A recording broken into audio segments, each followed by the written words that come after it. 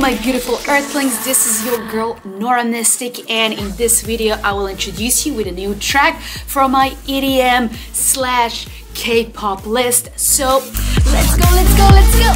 As someone who has been a fan of K-pop music for a very long time, it is hard for me to ignore recent news that has taken K-pop community by surprise.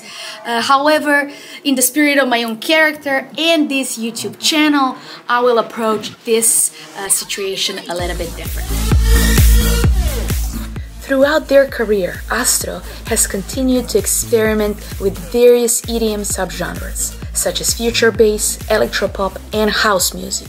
This has led to the creation of some truly memorable tracks that showcase their unique style and versatility.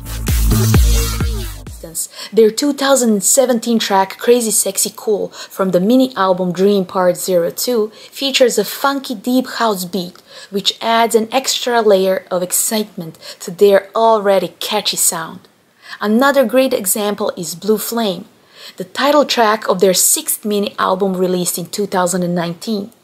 This song incorporates elements of future bass and electropop, creating a powerful and dynamic listening experience. And this is a closer look at how Astro has embraced the world of electronic dance music to create their own signature sound. By mixing elements of EDM into their catchy K-pop tracks, they've managed to stand out in the competitive music scene and capture the hearts of fans worldwide.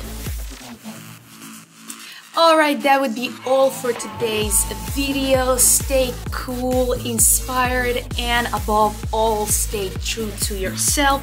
Please don't forget to subscribe, like, uh, your support really means a lot to me.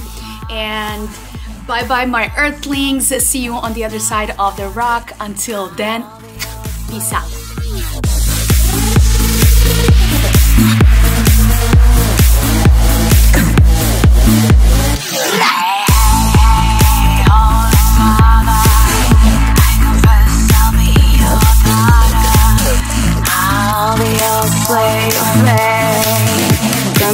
will I say to that?